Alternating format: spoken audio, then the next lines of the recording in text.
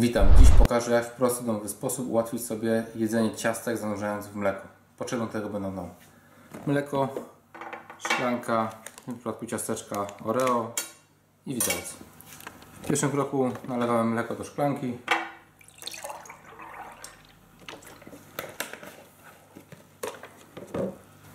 W następnym kroku otwieramy ciasteczka.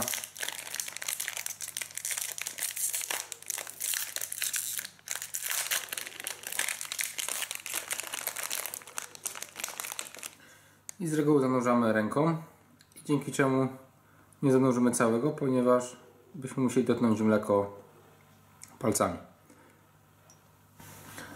Prawidłowo bierzemy ciasteczko, bierzemy widelec, nakłuwamy i moczymy śmiało całe ciasteczko w mleku. Pozdrawiam serdecznie.